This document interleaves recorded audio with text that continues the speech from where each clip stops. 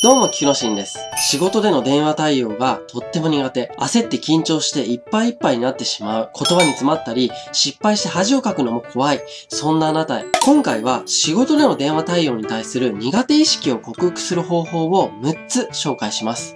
少しずつ実践していけば、息をするのと同じぐらい電話対応も楽になりますので、安心してください。それでは行きます。1番目です。電話機の操作を完璧に覚える。外線着信に応答する方法、通話を保留にする方法、電話を取り継ぐ方法、発信の方法など、基本的なことですが、まずは電話機の使い方をしっかり押さえることで、不安を一つ払拭できます。空いた時間に電話の操作法、自分マニュアルを作成しておくのをお勧めします。2番目です。メモとペンを用意しておく。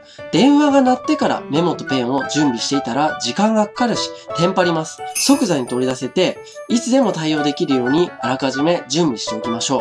3番目です。メモにアレンジを加える。白紙のメモ用紙に聞いたことを殴り書きしていると、途中で何を聞くべきか忘れてしまったり、ぐちゃぐちゃのメモになりがちで、ミスも増えてしまいます。これを回避するために、あらかじめ何を確認したらいいのかがわかるメモのフォーマットを作成しちゃいましょう。どこの誰が誰にどんな要件で連絡してきたかが一目でわかるようなメモであれば、安心して電話対応に挑むことができます。4番目です。基本のフレーズを覚える。お電話ありがとうございます。株式会社〇〇の〇〇です。いつも大変お世話になっております。ただいま確認いたしますので少々お待ちください。申し訳ございません。お電話が少々遠いようでございます。もう一度お願いいたします。〇〇でございますね。ただいまおつなぎいたします。少々お待ちください。戻り次第、こちらから折り返しお電話差し上げてもよろしいでしょうか復唱いたします。ご指摘いただきありがとうございます。などなど、電話対応でよく使われるお決まりのフレーズを覚えてしまうと楽です。呪文のように唱えて頭に叩き込んでしまうんです。5番目です。第一声をしっかりと、始めよければ終わりよしということわざがあるように、電話対応も最初がうまくいけば終わりもうまくいくことが多いです。まずは、電話を受けた際のお電話ありがとうございます。株式会社〇〇の〇〇です。を自信を持って言えるように練習してみてください。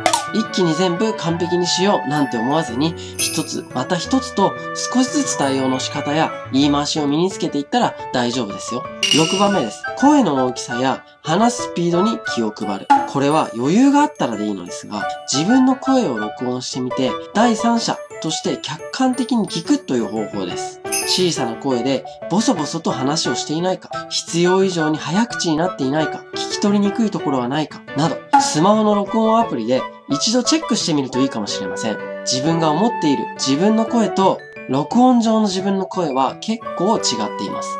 いい声が出るように発声練習をほんの少し心がけるだけでも印象が変わってイメージアップにつながります。以上です。1番目、電話機の操作を完璧に覚える。2番目、メモとペンを用意しておく。3番目、メモにアレンジを加える。4番目、基本的なフレーズを覚えてしまう。5番目、第一声をしっかりと。6番目、声の大きさや速さに気を配る。ぜひトライしてみてください。実を言うと僕も入社して3年目くらいまで電話が苦手でした。電話の音を聞いたら、お願いだから他の誰かが出てくれないかな、と心の中で願っていたものです。そんな僕でも数をこなしていくうちに慣れていき、少しずつ上手に対応できるようになれたので、あなたもきっと大丈夫です。今は大変だと思いますけども、頑張ってみてくださいください。応援していますね。それではまた。さようなら。